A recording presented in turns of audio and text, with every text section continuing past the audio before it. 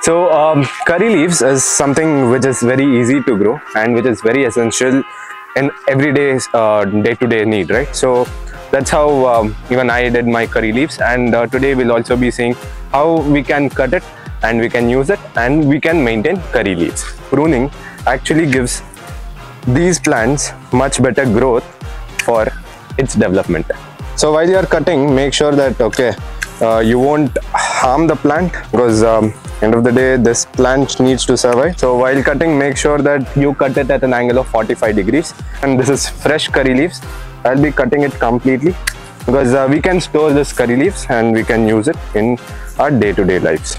So there will be a mealy bug. This is the worm which also infects this plant. It is only infected very little.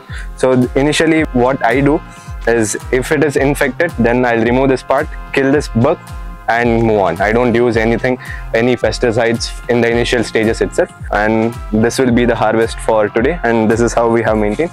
We'll be adding few fertilizer for that. So we'll use the same vermicompost which we have prepared for our fertilization. So we reuse whatever we have wasted. And we are fertilizing it with our own compost and that's how you maintain your curry leaves.